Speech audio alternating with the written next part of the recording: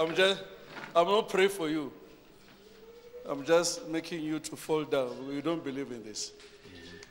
It's not true. It's true. Huh? It's true. So I'm not praying for you. I'm just showing you that you can fa- fall again, fall again.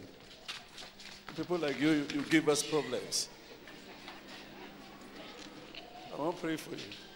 Because now you come to church, but you don't believe in the power of God. So me, I can fall, I can't fall down. I can't fall down. So we'll show you. I'll show you that they, you can fall down. Now you believe now. Huh? Yes, I believe. Huh? Yes, I believe. So why were you not believing? In fact, I was uh, wanting to know if God really know me if I'm the church. You hear him? Say it again. You say what? I wanted to know if God really know that I'm in the church. That's why you wanted to know it by falling. Yeah, by the But power. otherwise, when you're not falling, therefore you don't believe it's there. I was not believing. I thought maybe I'm not in the church like other people. I'm sure you understand what I'm saying.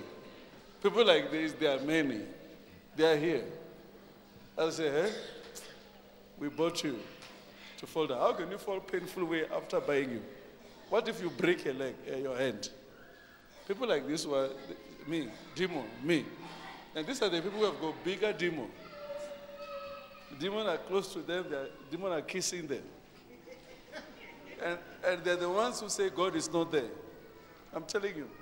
These are the people that they need to know the power of God. Now you believe the power of God. Yes, I believe. You believe now. So now you can accept Jesus now. Yeah, I can accept. Huh? Yes. See? If he can't fall down, he can't accept. You say you can accept Jesus now brother.